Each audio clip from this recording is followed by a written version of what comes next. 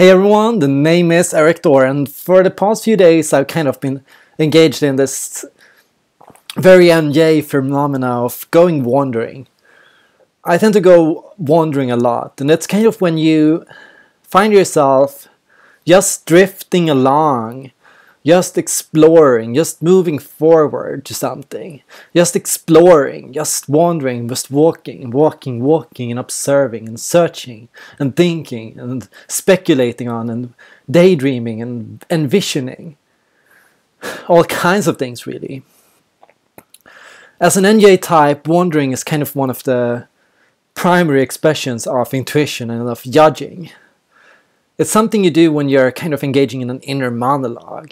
Typically, if you need to engage in an inner monologue, as uh, all you have to do is start walking, start transporting, start traveling, start moving forwards one step at a time, because that somehow kickstarts your mind. It gets you thinking. It gets you thinking a lot, really, about, in particular, your future. Like, where are you headed? Where are you going in life? What is your next step? What is your possibility? What is it that is possible for you? An NJ type is anything from a wanderer without a goal, moving forward, moving, stumbling in the dark, a person that is a little lost in a sense, as they are moving on a path that is uncharted territory. NJs like to walk where nobody has walked before. They like to go where they have no experience of being. They tend to like taking new routes and walking in ways that are unusual. And they tend to search for things that nobody has seen before. And they all, um, that's why you don't really have a clue into what you are searching for yourself. As an NJ type, you're searching for something, but you don't re really know what. And if you knew what it was, then it would rather engage you on a sensory level a sensing judging type creates a kind of routine, a step they've always walked through, a path they've always gone on, a way they've always done things. SJs create routines wherever they go, but NJs don't really. NJs are quite original. Visionaries tend to be quite original in the sense that they do things people don't really expect them to do. They dress in weird ways, they do things in weird ways, they have weird routines, they do things that are strange to some extent often things they don't even reflect on themselves, but things that just happen naturally. Now, NJ is kind of driven by that sense of being lost, but that's only the negative level of it. When you feel a little lost, it's common to want to go wandering or you don't feel uh, at home anywhere, then anyone anyone can be driven to go wandering if they don't feel at home anywhere. Then they start moving, just moving forward, just doing something. That's the typical quality of feeling lost. You just want to start moving. You start you start walking, but you don't know where to go. So NJ types typically it's uh, NJ characters from ENFJs to INFJs to ENTJs. Uh, if they they might find themselves like dreaming of going on a journey, going to a city nobody else lives, and uh, going to a planet nobody else has been to. That's kind of the start of NJ, that desire to explore foreign planets or whatever. So, yeah, it can be driven by being lost, but it also has positive qualities. like, uh, being a visionary is all about, in many ways, that lost of seeing something new, that kind of joy you feel when you experience something nobody has ever thought of before, when you do something nobody has done before, when you find something that nobody else has seen before. Uh, when you create something new and where everyone else starts going, wait, you can walk here. Wow, you can go this way. Suddenly everyone is going on a mission to that place that you found. Suddenly everyone has found that place. Suddenly everyone has discovered this continent. Or maybe Christopher Columbus was an NJ type. It's at least something an NJ would love, being at that Christopher Columbus, that person that goes to a new continent, that discovers them, the new place. But the thing about being creative, the thing about being a visionary is typically we only celebrate visionaries after they have discovered something. You don't celebrate a visionary who hasn't found anything. You don't look at them and go, wow, that's amazing. You go, where the hell are you going? What are you doing? Where are you headed? What's the point of this? What are you doing? Why are you being like this? Why are you being so strange? That's like, why are you going on this journey? That's what every person on Christopher Columbus ship was asking themselves. Where are you headed to? How do you get there? How do you even know that it's there? That's the kind of question you get to deal with when you're an NJ. Um, and of course, you can't really answer that question yourself, and that's not why you go there because you don't know. That's the point of going somewhere is not to know where you're headed. The point is to find something new. If you already know your destination, you're just following someone else's footsteps. You're just doing what everyone else is doing. You're just visiting old known places. So you want to find new places and you want to see new things. That's all about it, really. Now, NJs have other qualities as well. Of course, speculating. Speculating is a part of NJ, like that sense of if then what? If A and B, then what? Where are we going? Where is this person headed? What is my future? What does it look like? Where do I think I might end up?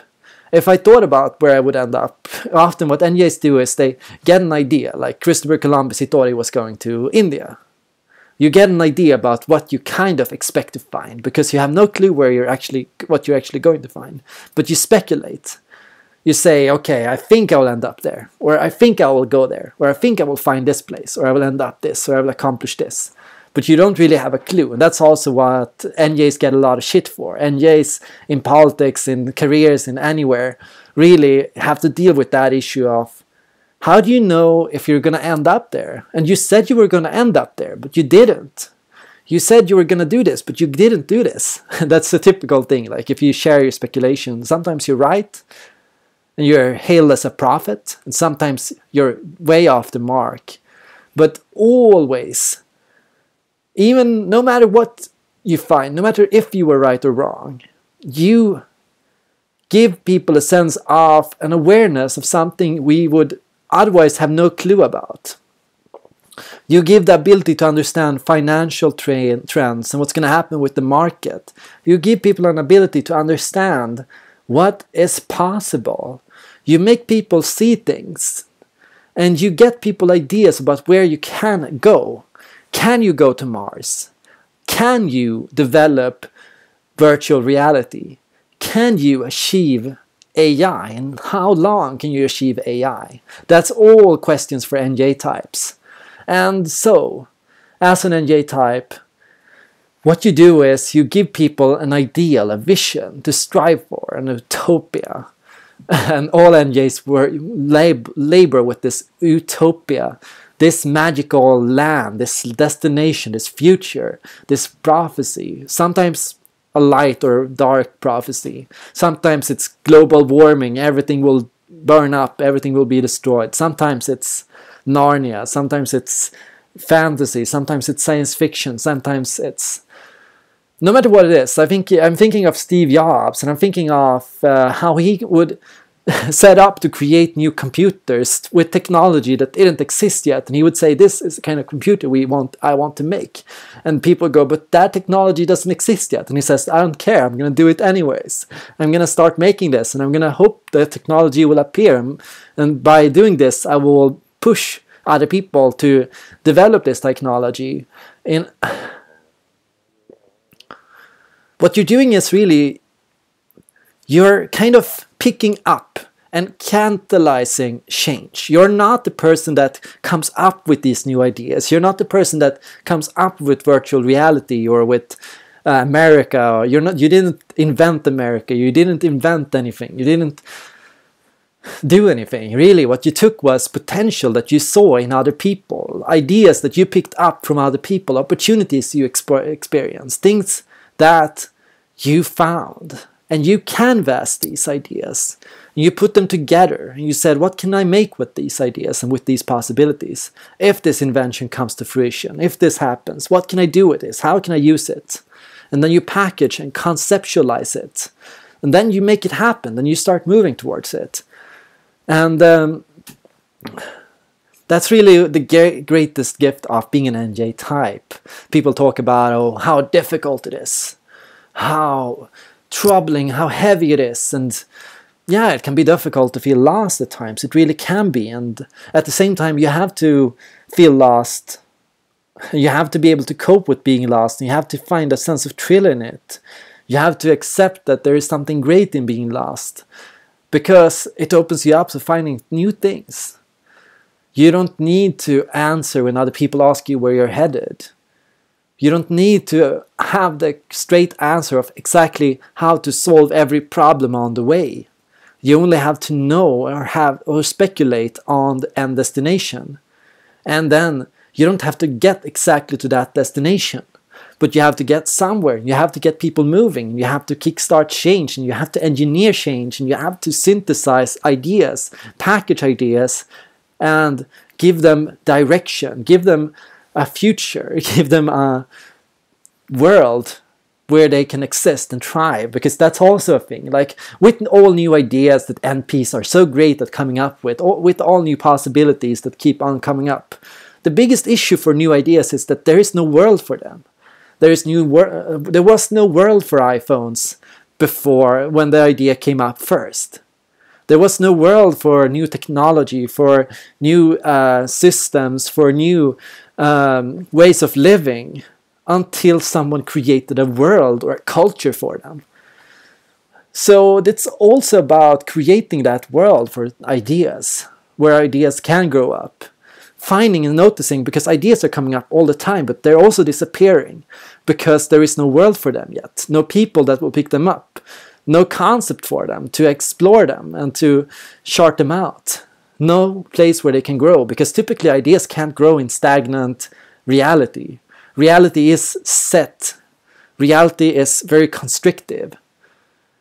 So imagine if we get a new idea for, I don't know, uh, for virtual reality, for a new form of mac and cheese, for something and imagine that this idea, there is no language for this idea yet.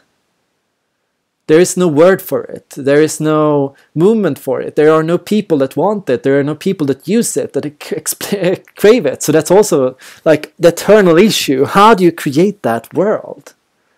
And that's where you need NJs. That's where you need wanderers who discover new continents where people can settle and build new homes and futures and opportunities. Because in all other countries, to some extent, all ideas have already been explored, cultures have set up, people have formed families, relationships, and everything is, and hierarchies with kings and queens and all that jazz. So in America, there was a chance for change, and that's what NJs opened up a chance for change, a chance for NPs to explore and create and to seize opportunities.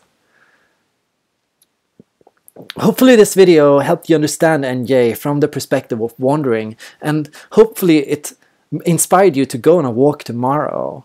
A walk without a destination, a walk where you can engage in an inner monologue, where you think about your future, where you're headed, what your next steps are, what where you can speculate on your future, and where you can create a world, a language, a concept where new ideas can grow. That's all for today. I hope you all enjoyed this video. Thanks for watching and I hope to see you guys in the next video.